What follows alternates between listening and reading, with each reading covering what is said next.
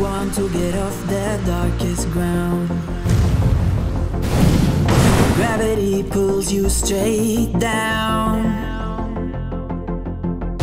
Earth from a bird's eye view.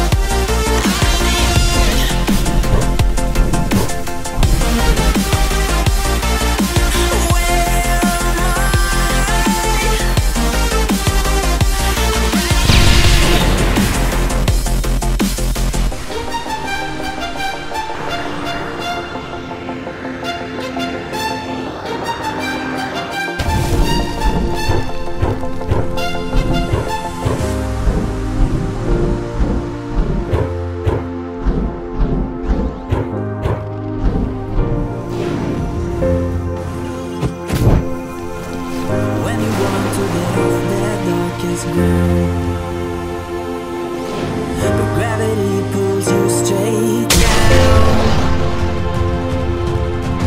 Earth from a bird's eye view. You should grow feathers see this too.